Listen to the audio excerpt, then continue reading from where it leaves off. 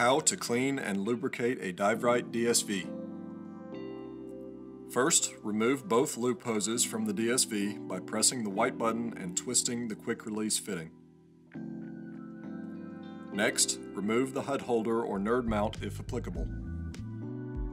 Use a thin wooden dowel to slowly and carefully work the exhale mushroom valve cage out of the body. Only put pressure on the outside edges of the valve cage, being sure to keep opposite sides even during the process.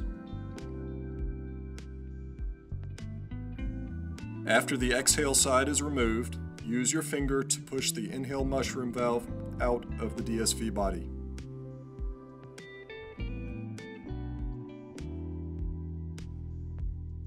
Use snap ring pliers to remove the C-clips from both sides of the DSV.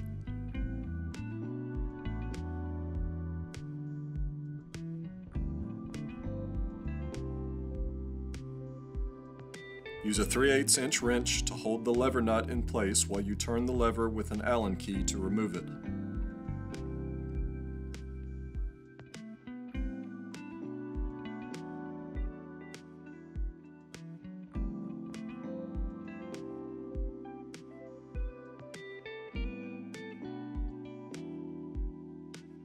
Slide the inner barrel out by pushing from the inhale side. Gently work the mushroom valves out from the valve cages.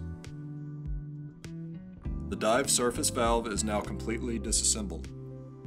After cleaning all parts of the DSV thoroughly with warm soapy water to remove old lubricant and any other foreign substances, inspect surfaces for any damage.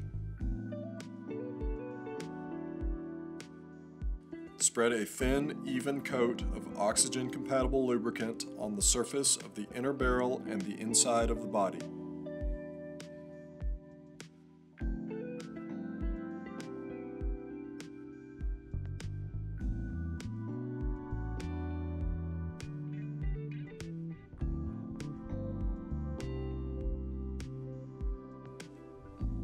Note the location of the purge hole on the DSV body and the pocket on the barrel, taking care to orient them properly in relation to the lever slot.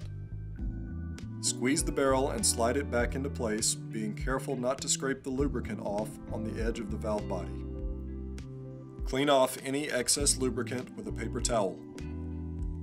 Check the O-ring on the lever for any tears or dirt. Line up the lever with the slot in the body and insert it into position. Hold the nut in place with a 3 8 inch wrench and use an Allen wrench to spin the lever until it is tight. Check that the inner barrel moves without obstruction.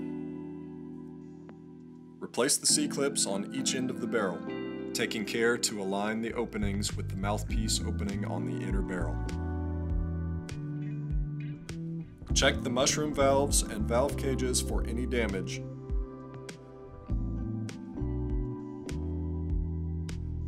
Then seat the valves in the valve cages. Put a small amount of lubricant on the valve cage O-rings. Confirm the inhale and exhale mushroom valves are in the correct orientation, then slide each valve cage back into place.